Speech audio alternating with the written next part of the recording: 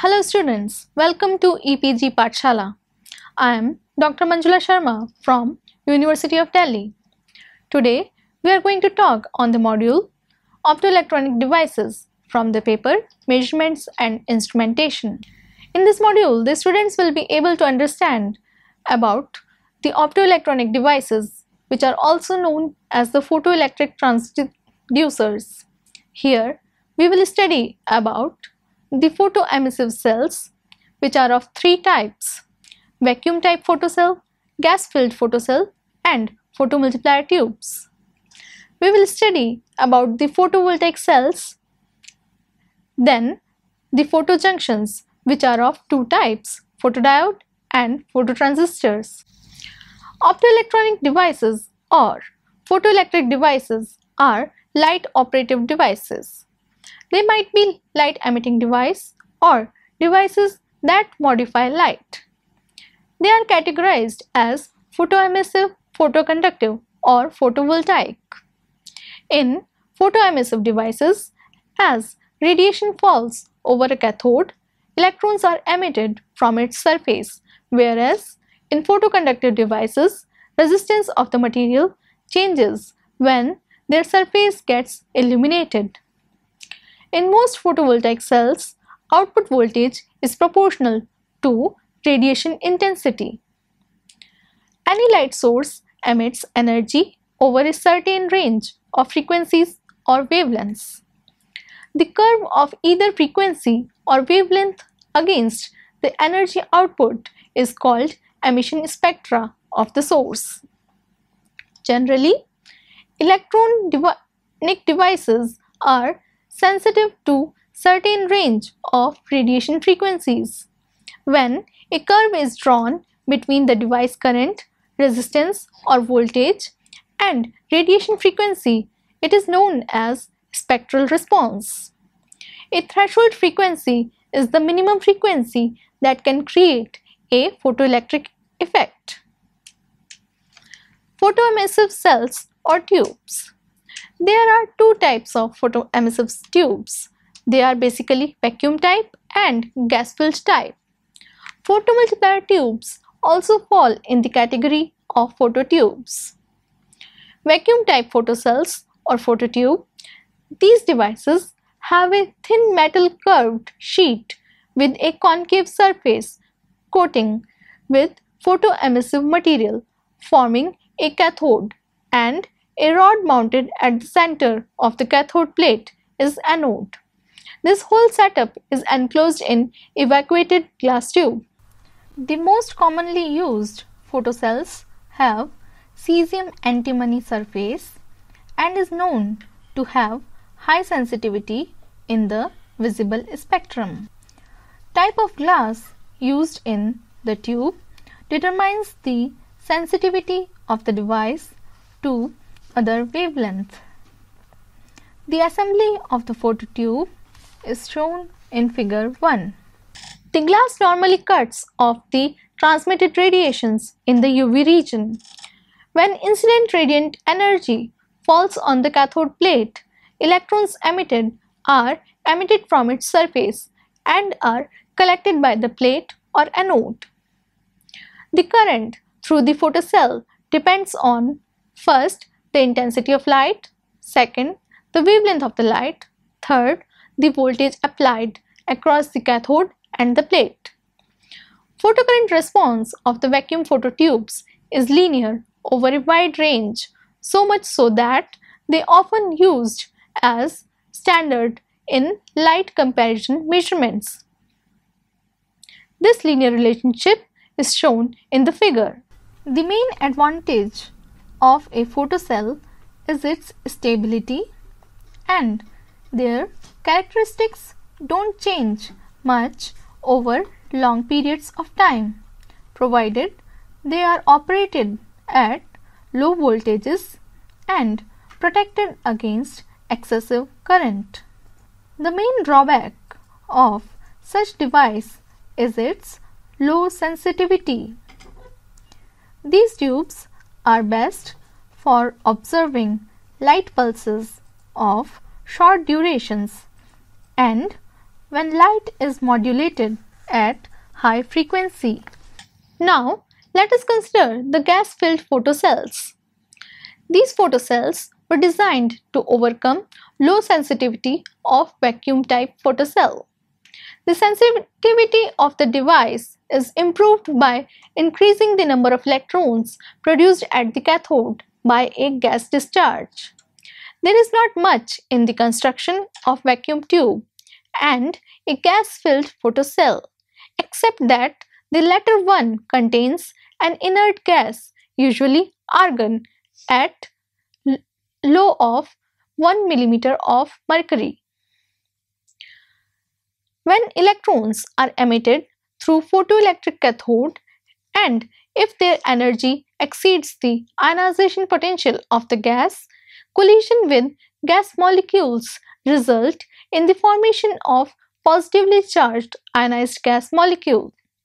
This also creates a secondary electron along with a positive ion.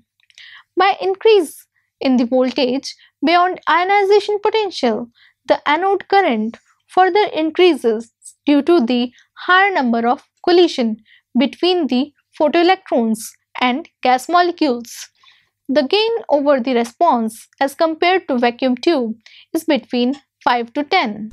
A resistor is always connected in series with a gas-filled tube.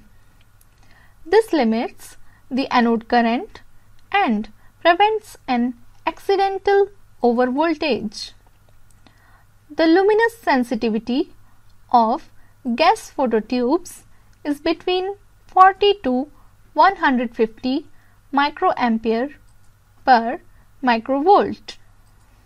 Few drawbacks of photofilled gas tubes are First, they are comparatively less stable when compared to vacuum tubes. Second, they show nonlinear characteristics.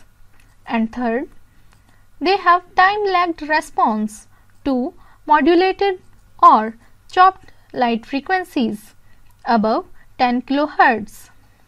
Motion picture industry uses gas filled phototubes as sound on film sensors.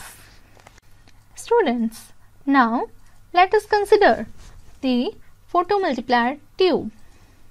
Photomultiplier tubes are extremely sensitive to detect very low level of luminous intensity.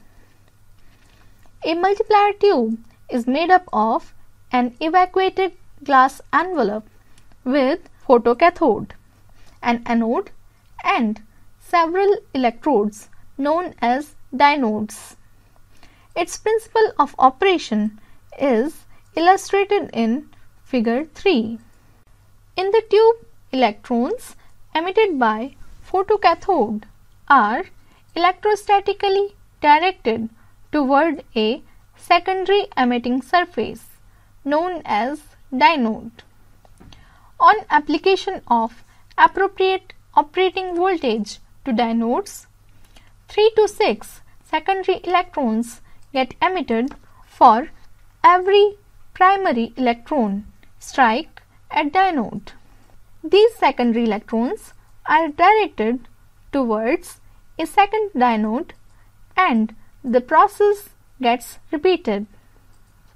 This multiplies original emission from photocathode from current of the order of few microampere gets converted to more useful milliampere level. High voltages ranging from 500 volt to 5000 volt are required for normal functioning of the device.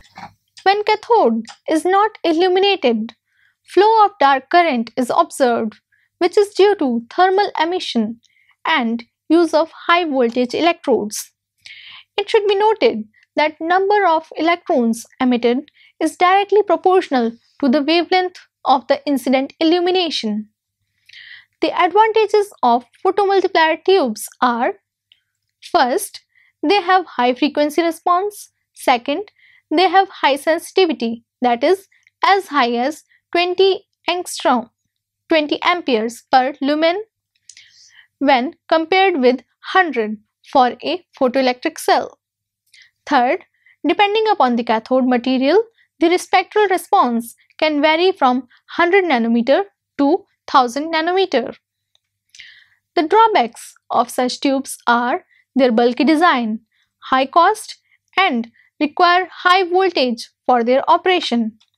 Because of their incredible amplifying capabilities, they are used extensively in photoelectric measurement, control devices and scintillation counters.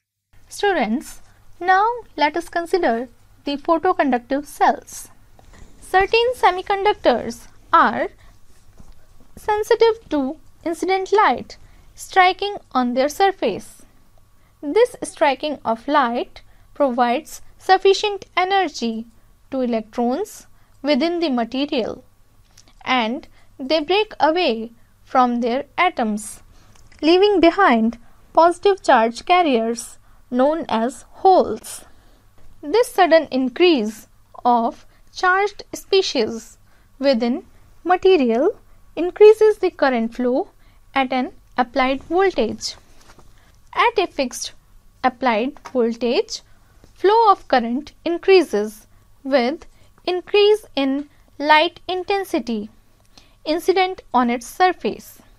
This effect can also be seen as decrease in resistance with increasing light intensity.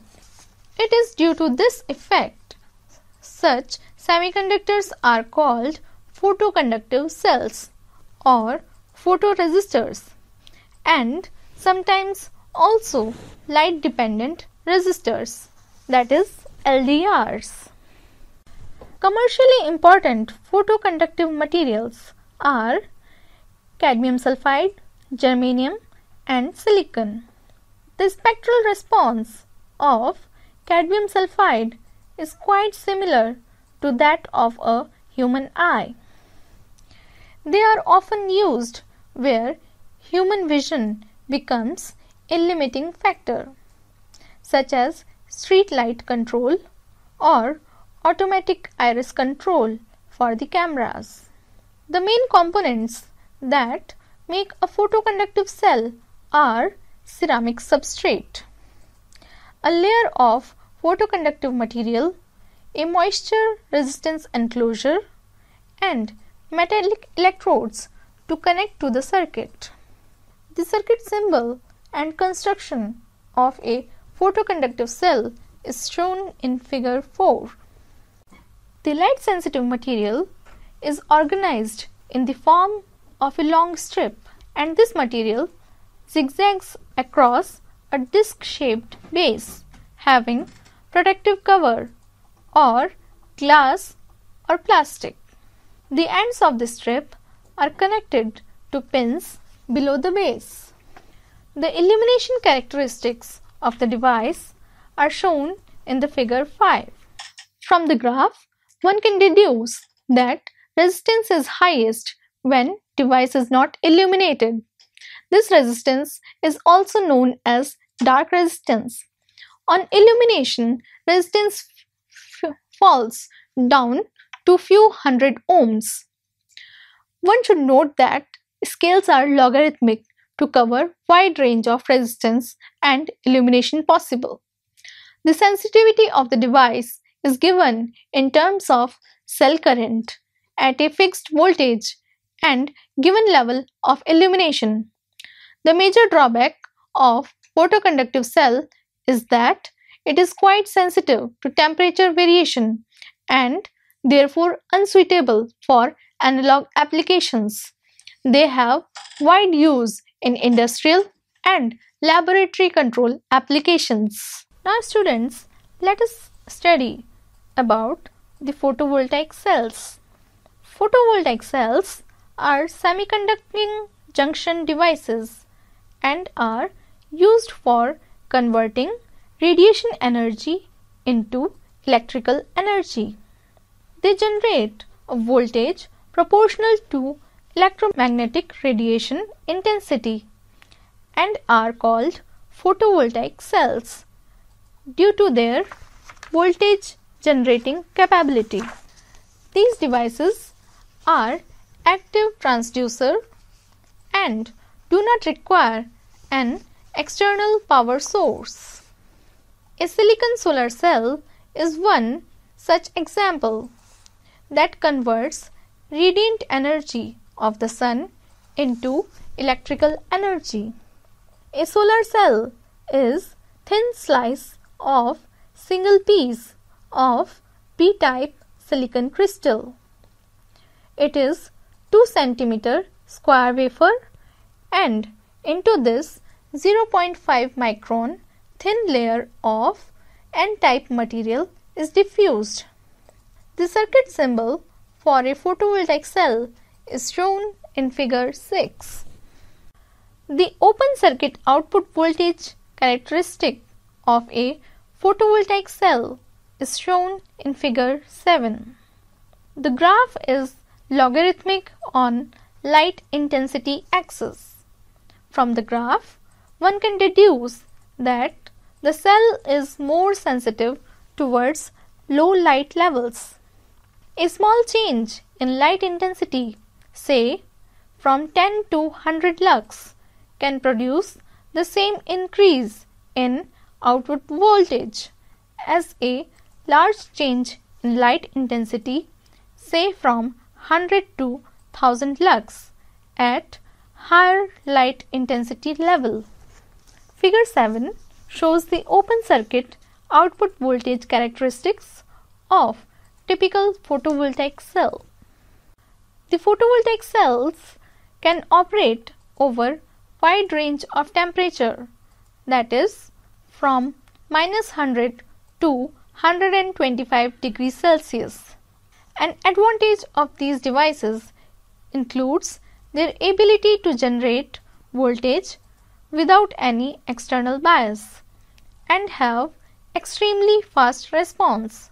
That is, they can convert energy instantaneously. Multiple units of silicon based devices are used for light sensing applications such as reading punch card in the data processing industry. Students, let us now study about the photojunctions. There are two kinds of photojunctions, photodiodes and phototransistors. Silicon used in such light sensing semiconductors have spectral response peak near wavelength of 0.8 micron. For optimum response in infrared region, the germanium devices are preferred. These devices are sealed in special metal can with a window or lens fitted over it. This is to focus incident light onto the PN junction. First of all, let us study the photodiodes. They are two terminal semiconducting PN junction devices and are designed to operate with reverse bias. The construction, symbols and biasing arrangement is given in figure 7. They are mounted on a translucent case or its semiconducting junction is mounted beneath an optical lens. The output voltage is collected across a series connected load resistor R. This resistor may be connected between the diode and the ground or between the positive terminal of the supply and the diode. This is illustrated in figure 7. In a reverse biased PN junction, a reverse saturation current flows because of thermally generated holes and electrons that are swept across the junction as the minority charge carriers. As temperature increases, more and more electron hole pairs are generated and this further increases reverse saturation current. Similar effect can be achieved by illuminating the junction. When the light strikes the PN junction, it dislodges valence electrons and with more light bombarding the junction, larger reverse current is generated by the diode. From the graph in figure 8, one can observe that the reverse saturation current increases linearly with increase in luminous flux. Now students, let us study the phototransistors.